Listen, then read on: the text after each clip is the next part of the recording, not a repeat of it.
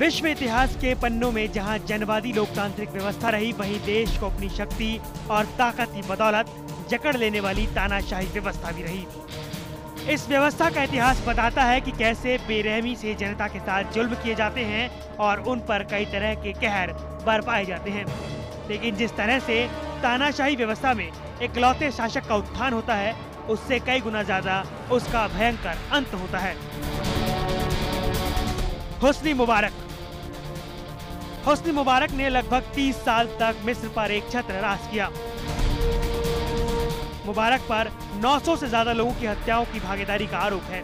ये हत्याएँ पिछले साल तब की गई, जब लोकतंत्र समर्थक और सरकार विरोधी प्रदर्शनकारी उनके खिलाफ बगावत कर रहे थे। और इसके बाद मुबारक को सत्ता छोड़नी पड़ी थी। किसी ने भी शायद ये नहीं सोचा था कि 1981 में अनवर सादात की हत्या के बाद उपराष्ट्रपति के पद पर मौजूद बेहद कम जाने पहचाने नाम हौसनी मुबारक को राष्ट्रपति का पद सौंपा जाएगा और वो इतने सालों तक, इतने दशकों तक देश की कमान संभाले रहेंगे।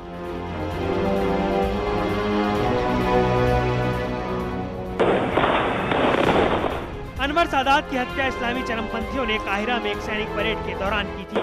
और मुबारक भाग्यशाली रहे, कि उन्हें गोली नहीं लगी, हालाँकि वो उस वक्त उनके बगल में मौजूद थे। उसके बाद हुस्न मुबारक पर कम से कम छह बार जानलेवा हमले हुए, और वो हर बार बचे।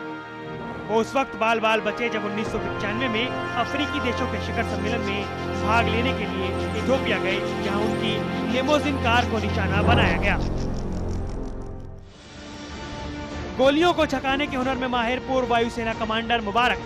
पश्चिमी देशों के विश्वसनीय सहयोगी रहे और इसी कारण वो अपने देश में शक्तिशाली विपक्ष को परास्त करने में कामयाब रहे। वास्तव में जब से हौसनी मुबारक ने सत्ता संभाली, उन्होंने मिस्र पर अर्धसैनिक शासक के तौर पर राज किया। अपने पूरे काल में उन्होंने देश को आपातकाल कानून के तहत चलाया और सरकार को गिरफ्तारी और बुनियादी स्वतंत्रता को कुचलने की पूरी आज़ादी दी। हुस्न मुबारक के 30 साल के प्रशासन में आपातकाल जैसे हालात रहे, क्योंकि कहीं भी पाँच से ज़्यादा व्यक्तियों को इकट्ठा होने पर पाबंदी थी। एक गरीब परिवार से ताल्लुक रखने वाले मुबारक ने बेशुमार दौलत इकट्ठी की। कहा जाता है कि 30 सालों के शासनकाल में हुस्न मुबारक की अकूत दौलत 70 अरब डॉलर तक जा पहुँची।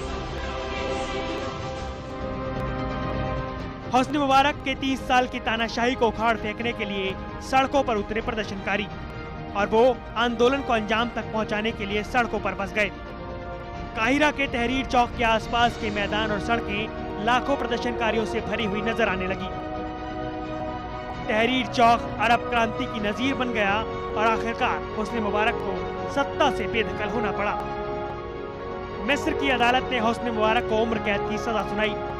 दस महीने की सुनवाई के बाद हुस्नी मुबारक को सजा सुनाए जाने पर काहिरा में जश्न मनाया गया। मुबारक के खिलाफ प्रदर्शन के दौरान मारे गए लोगों के रिश्तेदारों में खुशी की लहर दौड़ गई। सजा सुनाए जाने के कुछ दिन बाद ही हुस्न मुबारक बुरी तरह बीमार हुए और ब्रेन स्ट्रोक के चलते कोमा में चले गए, जहाँ वो फ़िलहाल अभी तक ज़िंदगी और मौत के बीच जूझ रहे हैं। जनता के लिए वरुण गोयल की रिपोर्ट।